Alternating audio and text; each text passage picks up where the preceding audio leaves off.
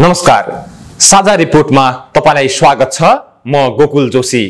पर्खाइ कति कष्टकर र पीडादायी हुन्छ शुक्लाफाटा आरक्ष विस्थापितलाई हेरे सजिलै जो कोहीले अनुमान लगाउन सक्छ। सङ्कटकालमा थाप थलोबाट उठाएर सरकारले सर्वस्व लुट्यो घरबार विहीन पारेर जङ्गल पुर्याइयो। पुनर्स्थापनाको पर्खाइमा रहेका विस्थापित भन्छन् हाम्रो पीडा कसैले सुनेन। दशकौंदेखि पुनर्स्थापनाको पर्खाइमा सानो झुप्रोभित्र जङ्गलमा रात बिताइरहेका छन्। अभावै अभावमा जनावरसँग पौठेजोरी खेल्नु उनीहरूको नियति भइसकेको छ। सरकारबाट पाउने सेवा सुविधा पनि नपाउँदा पीडामाथि पीडा थपिएको छ। तीन दशकदेखि उनीहरूको एउटै आश छ सुरक्षित आवास। आश मात्रै देखाएर सरकारले पटक पटक ठगेको आरक्ष विस्थापितको गुनासो सम्बोधन भएको छैन। एक रिपोर्ट विक्रम सम्भव दुई हजार अन्ठाउन्न सालमा आरक्षित विस्तारका क्रममा विस्थापित भएका कञ्चनपुरका आरक्षित पीडितको हालसम्म पुनर्स्थापना हुन सकेको छैन। सरकारले विस्थापितहरूको समस्या समाधानका लागि बत्तीसवटा आयोगहरू बनाए पनि त्यसको उपलब्धि भने शून्य छ। सरकारले उच्च अदालतका पूर्व न्यायाधीश जयानन्द पनेरुको अध्यक्षतामा तेत्तिसौँ नयाँ आयोग गठन गरेको छ। तर पीडितहरू भने आफूले न्याय पाउनेमा सुसङ्कित छन्। दुई सालमा स्थापना गरिएको शुक्लाफाटा राष्ट्रिय निकुञ्ज शिकार क्षेत्रबाट वन्यजन्तु आरक्ष हुँदै निकुञ्जमा परिणत भएको हो। तर यहाँबाट विस्थापित भएका स्थानीयको अवस्था भने दिनानुदिन खस्कदो छ चुनावका बेला प्रतिबद्धता बोकेर घर घर पुग्ने दलका नेताहरू जितेपछि भने फर्केर नआउने गरेको आरक्ष पीडितको आरोप छ। अब बिमारी भयो एक्सिटमलको गोली पाइएको छैन बच्चा यस्तै विस्थापितै छन् पढ्नै पाएका छैनन्। अब यो राज्यले लौ हामीलाई भोट धिच्दा हो हामी दिन्छौँ जग्गा अब तिम्रो व्यवस्था गर्छौँ भन्नाखन् कोही पनि गर्दैनन् भोटको आम्ना बालबच्चा लागि आम्ना जोइ छोरीका लागि खुर्सी रोज जहान हाम्रो व्यवस्था कहिल्यै जिन्दगीभरि अब कति मान्छे मरिगयो हजुर हामी पनि मर्ने मर्ने रहेछौँ यो व्यवस्था कहिल्यै हुने होइन। नेताहरूले आफूहरूलाई भोट ब्याङ्कको रूपमा मात्रै प्रयोग गरेको उनीहरूको भनाइ छ। दुई हजार अन्ठाउन्न सालमा तत्कालीन सरकारले आरक्षण विस्तार गर्ने भन्दै यहाँका सयौं परिवारलाई बसोबास गरिरहेको ठाउँबाट विस्थापित गरेको थियो तर उनीहरूको अहिलेसम्म पुनर्स्थापना हुन सकेको छैन। आरक्षकै जग्गा अतिक्रमण गरी शिविरमा बसिरहेका उनीहरूको अवस्था निकै दयनीय छ। खरका कच्ची छाप्राहरू बर्खामा चोहिने र हिउँदमा जाडो छल्न कठिन छ। खानेपानी शिक्षा विद्युत लगायत सरकारबाट पाउने सेवा सुविधाबाट वञ्चित मात्रै छैनन्। जङ्गली जनावरको त्रासका बीच जीवन जिउन बाध्य छन्। केही पनि छैन न बिजुली छैन न ऊ के भने ट्याउटर छैन न केही छैन। अब के खाने मेरो त हजुर कोही पनि छैन छोराछोरी छैन हजुर एकै छोरी छ। अब यो दोस्रो एक पाँच कट्टा दिएको हो त्यही खाना कि पुग्दैन लाउन कि पुग्दैन यो क्या ठाउँ क्या लाउँ भने हुन्छ यो घर घर हुनुहुन्छ मागेर खानु पर्यो। कोही पनि छैन सक्नु के गर्ने? सुगाफाटा राष्ट्रिय निकुञ्ज तथा अन्य वन क्षेत्रमा चौधवटा शिविर बनाएर बसेका विस्थापितको दीर्घकालीन समाधानका लागि सरकार उदासीन रहेको पीडितको आरोप छ। उसो त नयाँ सरकार गठन भएसँगै आरक्षी पीडितका समस्या समाधानका लागि उच्च अदालतका पूर्व न्यायाधीश जयानन्द पनेरुको अध्यक्षतामा तेत्तिसौँ नयाँ आयोग गठन गरेको छ। तर यसअघि त्रिचालिस वर्षमा बत्तीसवटा आयोग बने पनि प्रगति शून्य भएपछि पीडितहरू भने आफूले न्याय पाउनेमा सशङ्कित छन्। अब समस्या समाधान गर्ने नाउँमा आयोग बनाएर संख्या थप्ने मात्रै होइन। आरक्षित विस्थापितलाई पुनर्स्थापना गरेर जनतालाई सरकार भएको अनुभूत गराउन ढिला गरिनुहुन्न।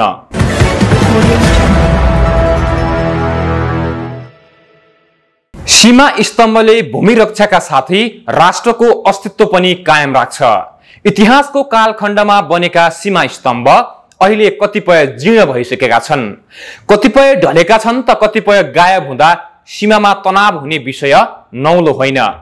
तर सरकारले हराएका ठाउँमा नयाँ स्तम्भ बनाउनु त परको कुरा मर्मत र ढलेको स्तम्भ उठाउन समेत सकेको छैन। भारतसँग सीमा जोडिएको कञ्चनपुरको सीमा पनि यस्तै अस्तव्यस्त छ। एक रिपोर्ट। यो ढलेको नेपाल भारत अन्तर्राष्ट्रिय सीमा स्तम्भ हो। कञ्चनपुरको भिमत्व नगरपालिका दस जिमुवा नजिकै रहेको यो स्तम्भ ढलेको झण्डै बाह्र वर्ष भयो तर राज्यले प्रवाह नगर्दा स्तम्भ वर्षनी पुरिँदै जाने गरेको छ जसले गर्दा स्तम्भ हराउने अवस्थामा पुगेको छ। त्यस्तै दुई हजार सत्तरी असारमा महाकाली नदीमा आएको भीषण बाढीले भिमत्व नगरपालिका एघार भोजेलामा कटान गरी बगाएको सीमा स्तम्भको पनि अझै अत्तो छैन। सरकारले जीर्ण पिल्लरहरूको सामान्य मर्मत गरे पनि वर्षौंदेखि ढलेका तथा जीर्ण भएको कतिपय पिल्लरहरूको मर्मत भने अझै हुन सकेको छैन। केही समय अघि जीर्ण पिल्लरहरूको सामान्य मर्मत पनि भयो। वर्षौंदेखि ढलेका तथा जीर्ण भएको कतिपय पिल्लरहरूको मर्मत भने हुन सकेको छैन। ढलेको सीमा स्तम्भ पुनर्निर्माण गर्नु पर्नेमा स्थानीयको जोड छ। नाली कोर्दाखेरि त्यो पिल्लर झर्या हो त्यो पानी बग्दै बग्दै। त्यति बेला एसी बेला आउँदाखेरि धेरै दुःख दियो हामीलाई। धेरै यो पिल्लर कसरी झऱ्यो झऱ्यो कसरी भने त्यो। एसएसबी पक्षले त्यस्तो भन्थ्यो एक्सिजीवालाले त्यो अहिलेसम्म त्यो त्यो पिल्लर झड्या झडै छ त्यो उठाएको छैन। अहिलेसम्म म देखाउन जान्छु त्यहाँ हजुरलाई म। त्यो पिल्लर झड्या झडै छ त्यो तलै झड्या छ त्यो पिल्लर त्यो। भिन्दत नगरपालिका नौको खल्ला मस्जिटीदेखि पुनर्वासको डोके बजारसम्म एक सय उनातिस दशमलव पाँच किलोमिटर क्षेत्रमा एक दर्जन बढी मुख्य सहायक र साना पिल्लरहरू मर्मत गर्नुपर्ने छ स्तम्भ स्पष्ट नहुँदा सीमामा बेला बेला विवाद समेत उत्पन्न हुने गरेको छ।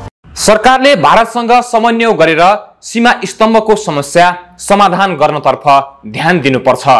अन्तर्राष्ट्रिय सीमा जस्तो संवेदनशील विषयमा सरकारले देखाएको यस्तो ढिलासुस्ती देशकै लागि दुर्भाग्य हो।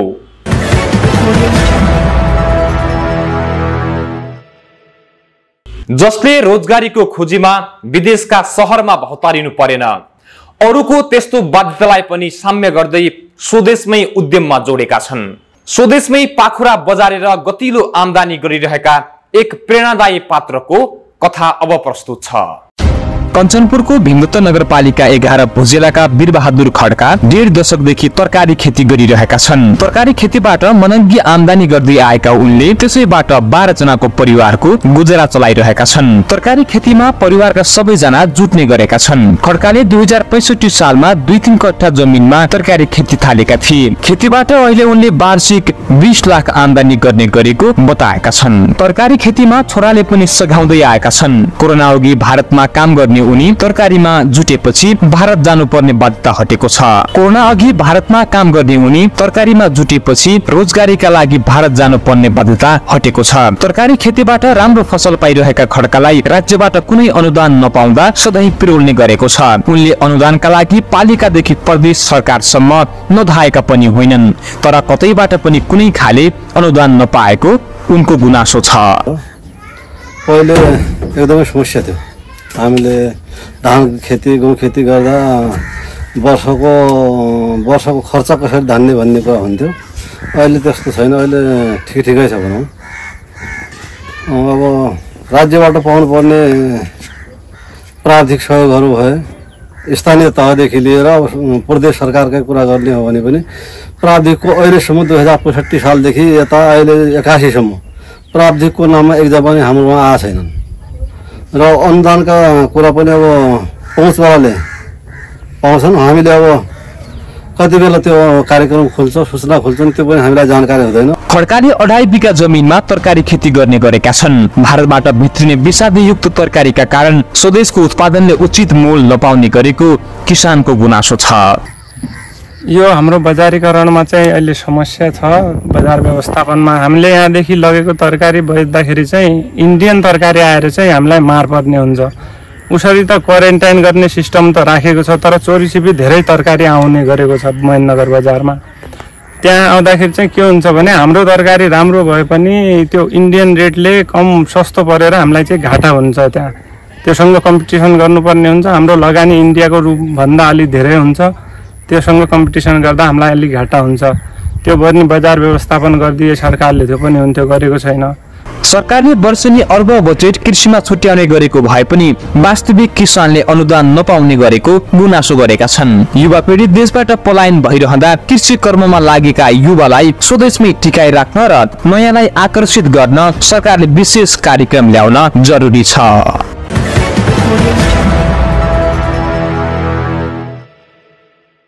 हवस् त साझा रिपोर्ट आजका लागि यति नै। बिदा चाहन्छु। नमस्कार।